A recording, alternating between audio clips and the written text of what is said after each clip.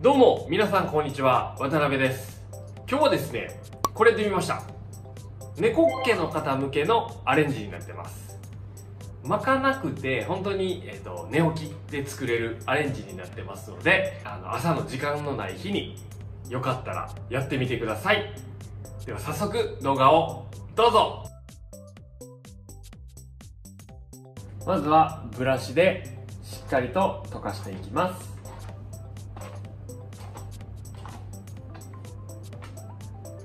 リーゼのまとめ紙フォームをつけていきます。しっかりとなじませて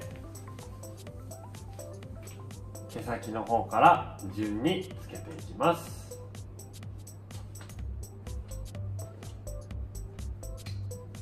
サイドの髪の毛を取り分けていきます。だいたいまあ耳後ろぐらいで分け取っておきます。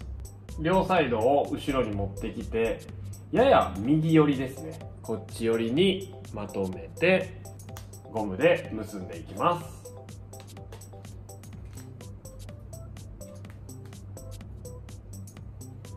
次に下の髪の毛ですね。この襟足の髪の毛をまあ大体4等分ぐらいですかね。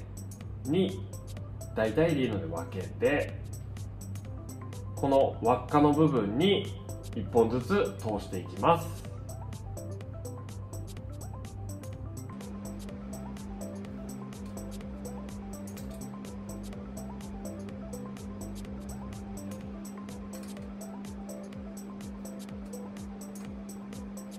全部通し終わったら毛先の髪の毛を2つに分けてそのままロープ状に軽くだけ編んでいきます。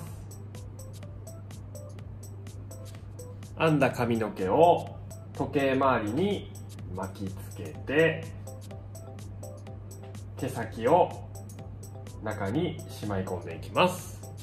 でこの毛先の部分の髪の毛とあと根元のこの髪の毛ですね。をヘアアクセまあこういうクリップタイプになってるやつですね。を両方にかませて留めていきます。